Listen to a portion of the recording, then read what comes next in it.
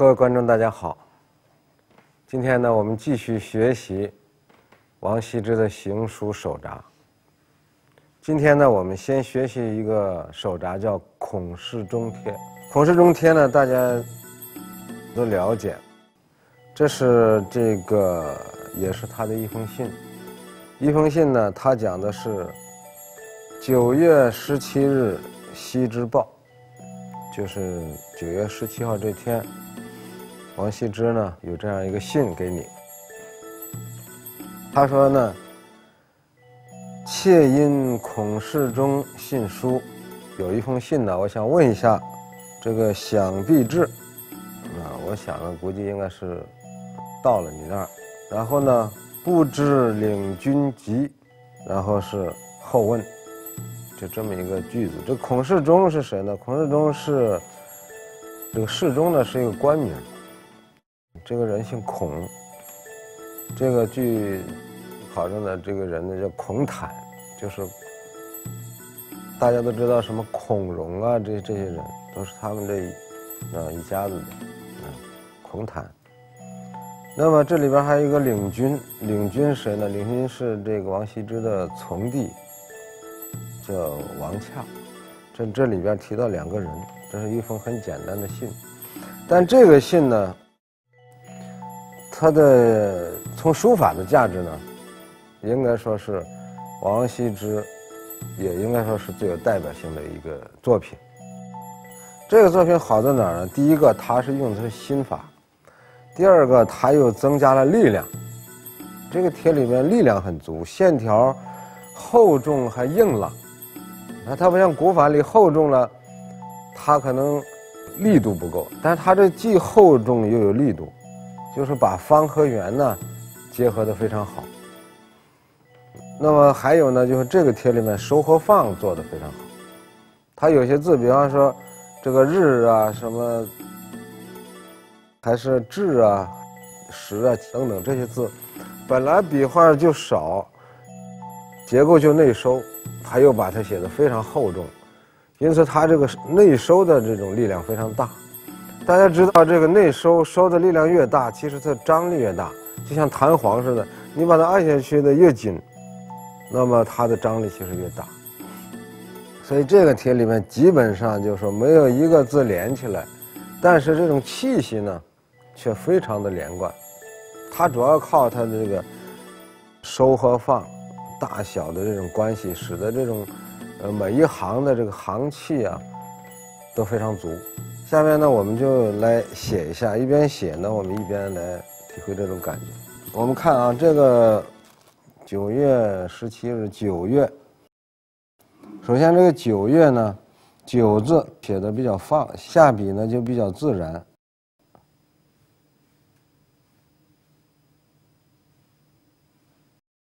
九月，九字应该说比较放，月字呢就比较收了。你看啊，这个月字这个。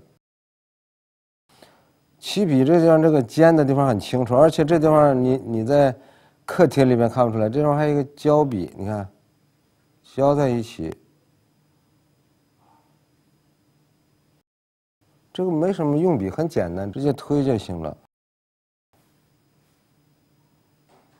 九月十七日这个十，你看起笔是尖的，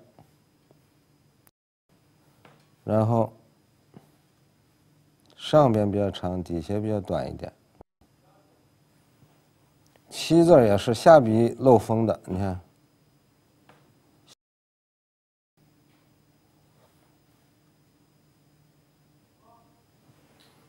十七日，日字写到了一起，你看啊，剩了一个外形了，看不见里边的笔画了。九月十七日，然后西之报。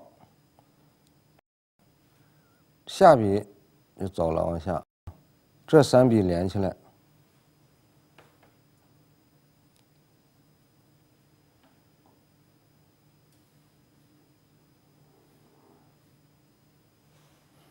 都很厚重，然后这个字写的也比较熟，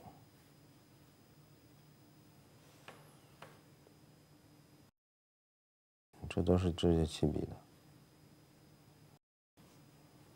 然后这三笔也比较厚，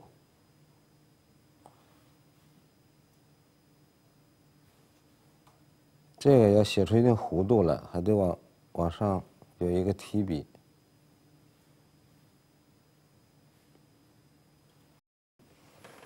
西之报。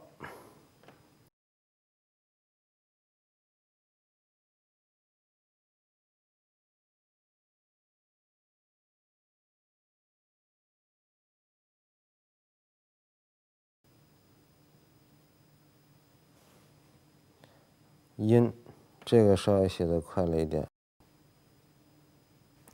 然后孔氏中，这里边呢，这个孔字呢就写的稍微轻了一点，而且这孔字写的很独特啊。这种结构，将来你看，尤其是这个地方，这一个小的提笔啊。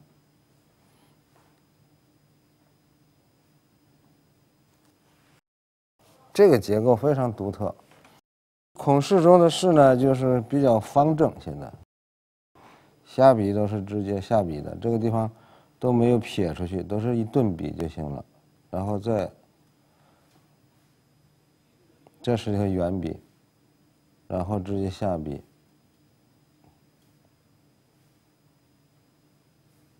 再往上挑。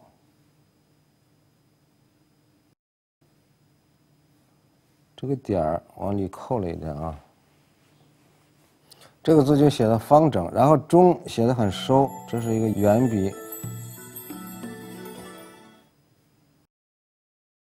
信，你看这个单立人，这个这么写啊，这个撇，正好把这个笔反过来写，这是王字的一个特点，很多单立人都这么写。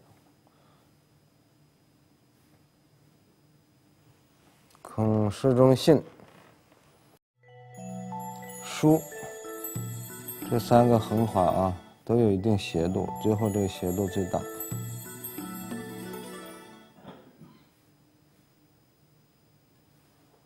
孔氏中信书，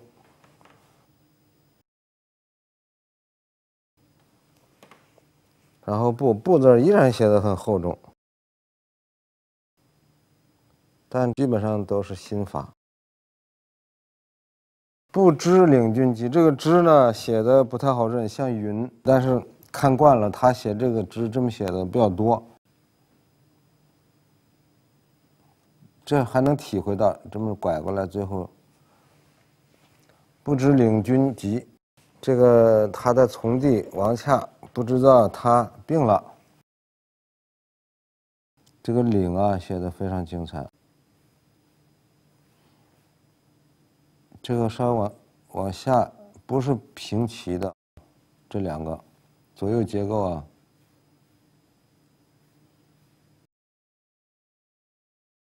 然后后问完了下来，我再再问候你。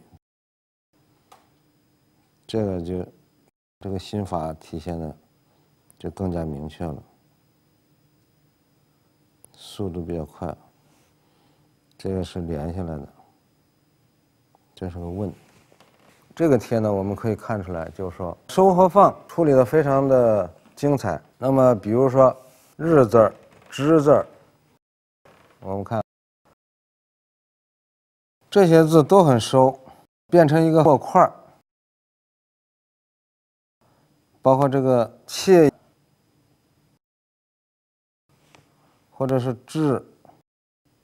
其实，在这里边，他已经把这个作品提升到一个点和线和块的一种对比当中来了。这个是应该说是比较少见。那么，它和这些线比较长的字，跟这些字一比的话，它完全成了块了。这就是一种丰富，这就是作为艺术的一种理解。那么，现在还有很多人。那个在看书法的时候，他会感觉，哎呀，你这个字写的这儿怎么不清楚了？这个都团在一起了，这个他会认为是是一种错误。啊，有的人也跟我提出过这样的一些，这这样写行吗？实际上，在我们的古人呢，早就行了。实际上是作为一种艺术，作为一种对比，作为一种丰富。那么到了后来呢，像明代末期的像王铎就创造了账墨法，那么故意形成一团子墨，那么就形成了一个块儿，一个墨。这个块面呢，在这个唐代的这个像颜真卿的《祭侄稿》里边，它可能还不是说我写出来的块儿，它是涂抹的块儿。但涂抹的块儿后来在历代的书法家或者美学家在分析这件作品的时候，认为这个墨块在这件作品里边非常非常重要。如果没有这几个墨块，那么这件作品的分量就厚度就觉得显然不够。那么我们看到宋代像欧阳修的，那欧阳修的这个手稿，他的手稿里边呢。在这个他的这个文章，他这个语言过程当中，有的这个这个字呢，这个要调整要改，他不像这个一般人，那么画一个线给它圈掉了，不是，他就是整个用毛笔把它涂死。在看他的手稿里面，他会经常出现一个墨块一个墨块的东西。那做一个手稿来理解的话，那也是很有意思的。所以我们。学这个孔氏中帖呢，就是说它是一件具有代表性的行书，没有一个地方相连接，但是呢，它通过这种轻和重的这种调整，使得这个作品呢很灵动，啊，那么贯气呢也非常足，它不让你觉得呆板，啊，不让你觉得呆板。那么这里边呢，这个比较就是。呃，挖掘细节的话，如果说很独特的话啊，我觉得这“孔”“孔”字啊，就非常独特。那我们将来要多抓一些这样的字，它的结构非常独特，左右结构错开了，而且右边这一个部分呢，它还不是竖，也不是直的。那弧也不是直的，它就做了很多的变化。我们再看看，这个地方写的很轻，然后底下稍微重了一点哈，这个地方也是由重到轻，然后这上面呢，你看这个本身写出来一个一个一种形态，会让人感觉只能这么写。只要不这么写这个字就写不好，会有这种感觉。所以说，这种东西我们要好好领会。再有，比方说像这个“中”这一笔，关键是什么？上边长，底下短，这个竖画啊。我我们过去一般写“中”都是，一般习惯了，一写“中”就是唰来一个长竖。实际上，这恰恰它的细节就在这儿，上边长，底下短，你看。这马上和别人不一样了，就区别开了。都写长的，我来个短的。你看这这个独特性就在这儿。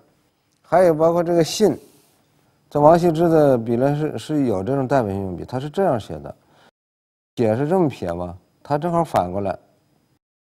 我们看到他这样撇了，我们也看到这样的撇，但是这种圆撇。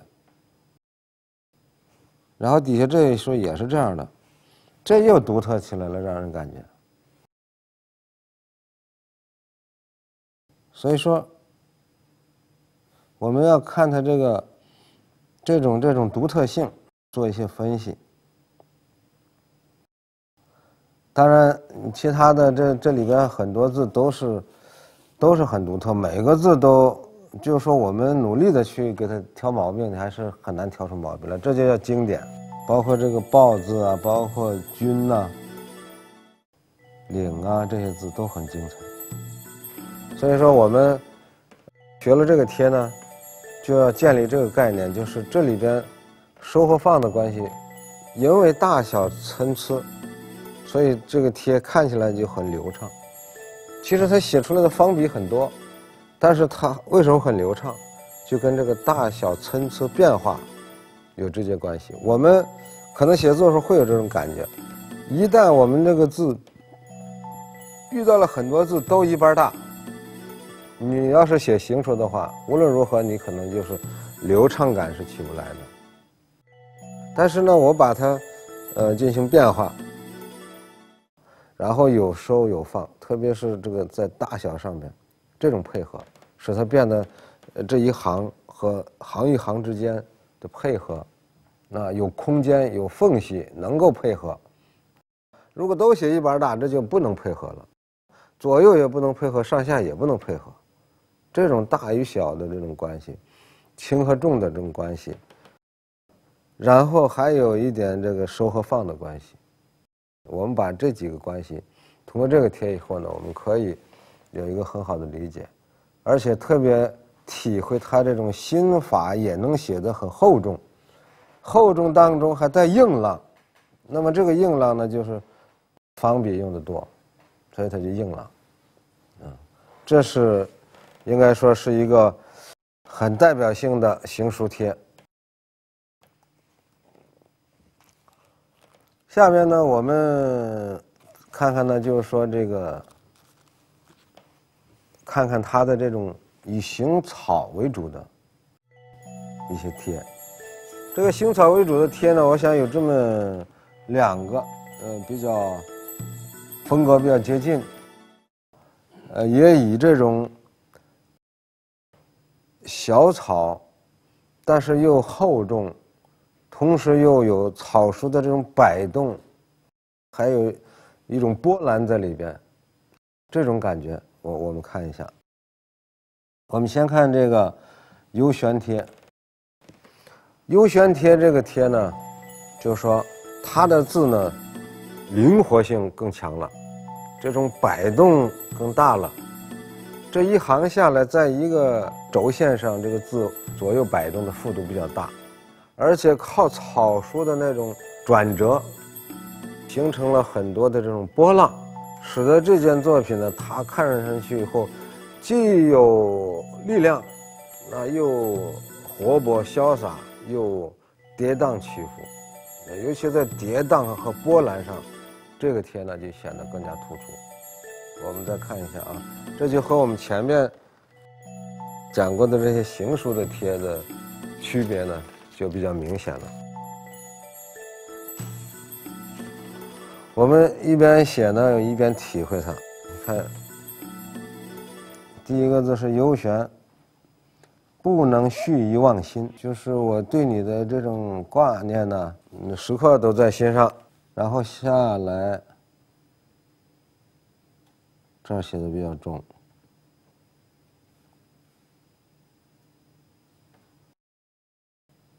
优字有一个倾斜的角度，大概是这么一个，它不是直的。然后旋呢，和它呢，就是说错开的比较多一些，它又回到这个位置上来。然后后边这个字写小了，这是一种滚动吧，或者叫摆动吧。一，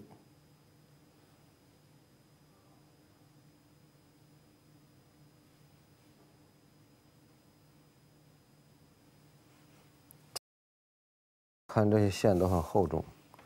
望心，这个望写的非常精彩。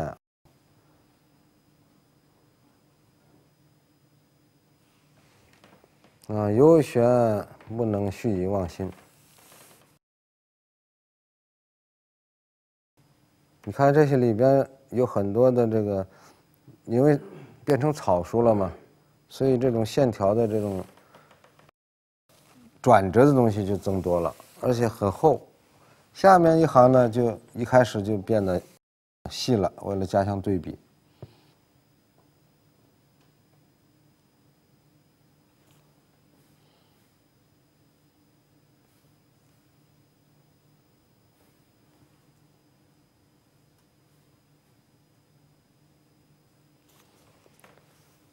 曲子这两个连在一起了，啊，两个字，这是一个小的组合。曲。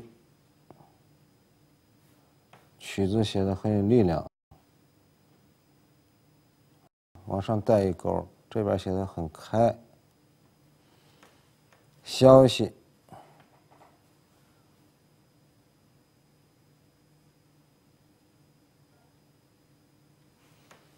嗯消息的息啊这也是很典型的王字啊。写的很厚重。这个心字啊，作为一个草书的写法，这是最代表性的。这个我们我们看看，主要是这个感觉啊，就是说这种这种转折呀，使得这些作品呢显得跌宕，这种感觉加强了。然后这边呢，上面三个字稍微细了一点，和这边有一个配合。然后这三个字呢，就写的比较呃叫正一点。和这边的这种滚动跌宕呢，也是一种调整。然后这儿又一个组合，然后这个这个组合呢写的就比较流畅。嗯，所以说这些天呢，虽然就这么几个字，一个呢字本身给我们提供了很这个就是说无懈可击的这种范本。第二呢。这个两行零一个字，这种章法很难处理的，实际上，嗯，但是呢，它处理起来呢，确实处理的非常好，尤其是第二行这个上和下这两段这个比较细的这种，呃，这个线条，就把这一件作品的，呃，前后这两行全部的调整开了。如果说这个。前面这三个，后边两个字依然还写成这样粗壮的，这样扁平的，那么这件作品呢可能就会失败。所以说，我们看他的这个为什么说东晋时期王羲之那个时代行书行草达到了最高峰，往往呢使得我们在做分析的时候呢，就说非常感叹，或许他是不是故意就这样搞了？实际上，我想呢，作为这样一个书法的天才，或者作为一个书圣来讲，可能就是说，完全已经进入到一种非常这个自由的一种状态了，用不着故意去做。如果再去做的话，不能成为经典。所以呢，我们记着呢，就是说，这个结构上这几个，比方说“故”，我我们。看它这个“故”写的比较细，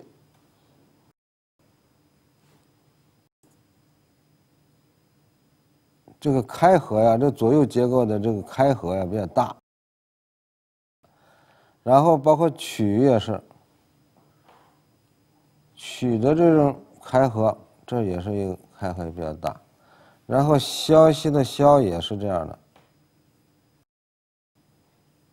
就是说这个左右结构的这种，你看这几个字都属于上宽下窄的这种结构，这种开合，所以我们在这个游选帖里面呢，呃，这是刚才看了结构。第二个呢，我们再看看这种，呃，这种配合。我们刚才看到，就是说，第二行靠这个上下两个两部分的这种呃细线的这种穿插。使得整个作品呢，呃，应该说非常丰富，丰富。所以这种轻和重的配合，还有呢，就是这个力量，虽然是草书，但是用笔用的力比较大。所以呢，厚重当中又表现了一种活跃，表现了一种跌宕。是这种东西呢，跟一般的草书比，完全是两回事比如说怀素的草书，你看那小细线。哗哗在那转圈其实线非常细。当然，这种旋转有旋转的优势，旋转能把气势增强，能把气充足。但是我这种小草，我在草的过程中增加力量，使得这个线条的分量很重，使得整个作品的力量很足。那么力量又恰恰是书法审美第一个要素。一说我们我们现在在民间对书法的这个称赞的时候，哎呀，这个人字儿写的好啊，写的很有力，这字儿写的很有力，很有力就是一种审美，所以力量本身就是书法审美的第一个标志，就是力量。我们还有，比方说叫做力透纸背，也是形容这个书法写的好，功夫深。所以说，在草书里边。如何表现力量，这就是王羲之又给我们提供的一个重要的一个审美的一个借鉴。所以说呢，我们在这个创作当中，如果是我们写大草，那可能会有一些由于速度和旋转的需要，可能有的时候呃力量顾不上，那但是也不能这个忘掉这个力量。那么写小草的时候，可能我们就有一定的从容来表达这种力量，所以一定记住这个。力量是书法审美的第一要素。好的，我们这一课呢，今天先讲到这里，谢谢大家。